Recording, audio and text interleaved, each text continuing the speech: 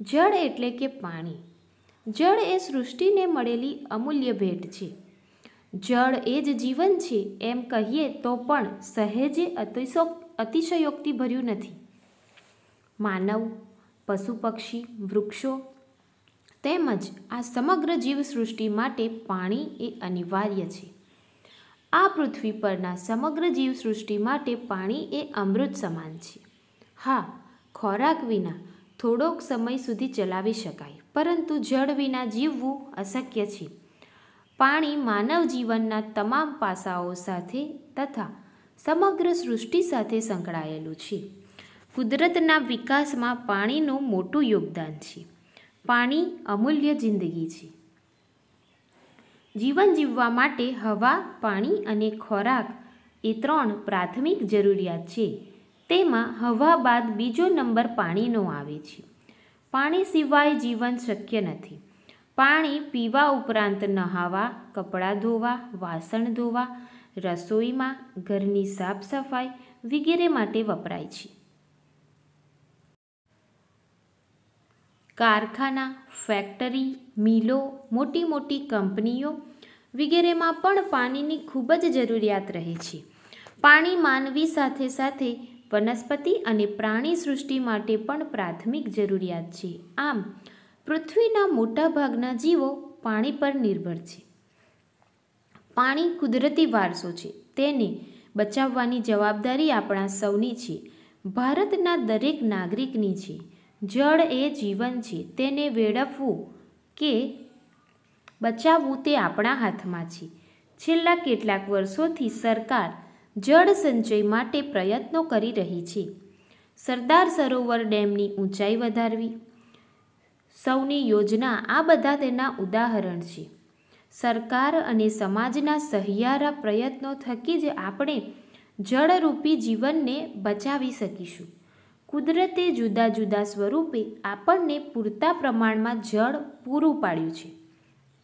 પરંતુ માનવ સમાજે તેનો વિવેકપૂર્વક અને કરકસરયુક્ત તેમજ કાર્યક્ષમ ઉપયોગ ન કરીને કુદરતી સંપત્તિનું અપમાન કર્યું છે. સમજણના અભાવે પાણીનો બેફામ ઉપયોગ કરવાના કારણે ખેતીલાયક અને પીવાના પાણીના જથ્થામાં ખૂબ જ ઝડપથી ઘટાડો થઈ રહ્યો છે. ખેતી અને પાણી એકબીજાના પર્યાય છે. જો પાણી હોય તો ખેડૂત ખોરાક, ઘાસચારો, કપાસ બળતણ અને ફૂલોનું ઉત્પાદન કરી નાણાં કમાઈ શકે. તેથી જ કહેવત છે કે ખેડ ખાતરને પાણી નસીબને લાવે તાણી. એટલે કે ખેડ એટલે કે ખેતી, ખાતર જેમાં નાખવામાં આવે છે અને પાણી. આ ત્રણ જો ભેગા મળે તો માણસના નસીબને ઉજાગર કરી શકે. માણસને નસીબદાર બનાવી શકે. ખેતીમાં બીજા બધા પરિબળો અનુકૂળ હોય, પરંતુ પાણી જ ન હોય, તો એકડા વિનાના મીંડા જેવી સ્થિતિ સર્જાય છે. જળ એ જ જીવન છે. તમે જળ બચાવો, જળ તમને બચાવશે. વગેરે જેવા સૂત્રો જળ સંચય અને જળ સુરક્ષાનું મહત્ત્વ સમજાવે છે.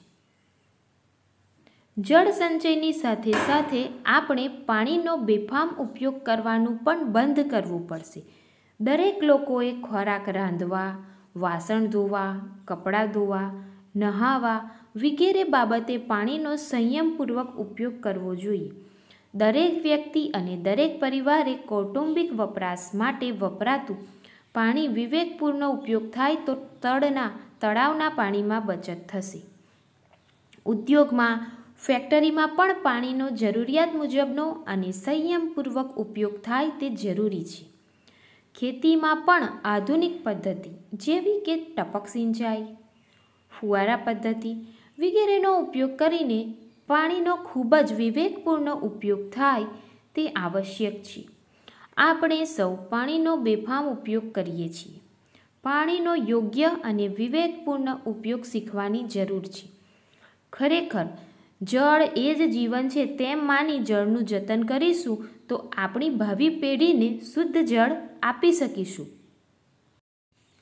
સો ફ્રેન્ડ્સ કેવો લાગ્યો વીડિયો કમેન્ટમાં જરૂરથી કહેજો. સાથે જ તમારે પાણી બચાવો અથવા જળ એ જ જીવન વિષય ઉપર સરસ મજાના કોટેશન્સ જોઈતા હોય તો એ પણ કમેન્ટમાં કહેજો. હું જરૂરથી વીડિયો બનાવીશ. ફરીથી મળીશું એક નવા વિડીયોમાં ત્યાં સુધી keep watching keep sharing keep learning thank you